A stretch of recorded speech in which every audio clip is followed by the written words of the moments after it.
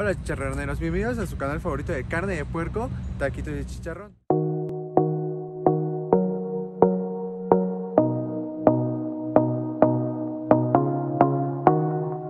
Amigos, acompáñenos en este tema llamado ventajas y desventajas de los grupos de trabajo que lo usamos en algún momento de nuestra vida, así que vamos a darle. Bueno, tal vez no sepas las ventajas de trabajar en los equipos de trabajo, tal vez en la escuela pues jamás te lo comentaron o simplemente pues no te nació la duda, pero bueno, yo te quiero platicar de las ventajas de trabajar en equipo. Bueno, cuando nuestro equipo está funcionando bien y cohesionando bien y llega a comprometerse todos, eh, creamos una máquina de trabajar muy buena, sería como los Vengadores y otro punto de esta ventaja sería que eh, cuando hay confianza y buen ambiente del equipo, porque claro, si estás con tu peor enemigo no vas a tener un buen ambiente. Igual si estás con la morra castrosa del salón, pues obviamente no va a funcionar eh, ninguno de los integrantes del equipo. Nuestra segunda ventaja es la motivación y no, no vamos a mostrar videos de motivación con sonidos de cascada, no, no, no, para nada.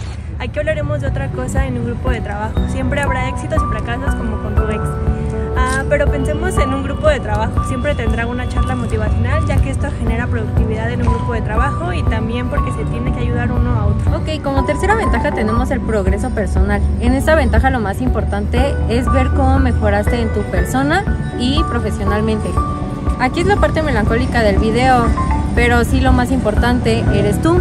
Ver cómo creciste y cómo progresaste y cómo te desarrollaste. Muy bien, vamos con la cuarta ventaja. Eh, porque esta es más satisfactoria. ¿Por qué lo digo? Porque los seres humanos fuimos hechos para socializar. No somos animales. Bueno, actuamos, ¿verdad? Pero no, no somos animales. Eh, por el simple hecho de que el ser humano fue hecho para socializar.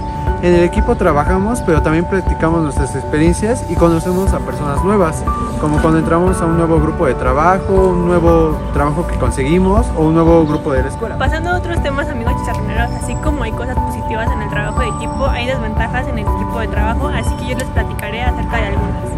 Ok, como mencionar es la pérdida de tiempo en la toma de decisiones en un equipo, pues no se llega a tomar muy claro nuestro objetivo y a veces el líder de equipo no toma buenas decisiones.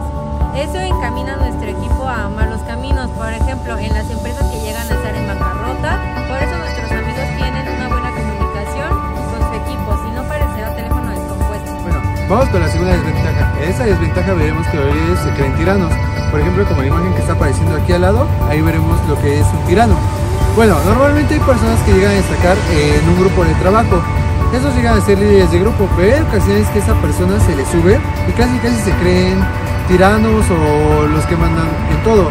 Y no digan que los demás integrantes tengan cierta opinión en el equipo o tener un rol importante o a veces hasta que llegue a destacar uno más que el otro. En nuestra tercera desventaja hablaremos acerca de la incapacidad de trabajar en equipo.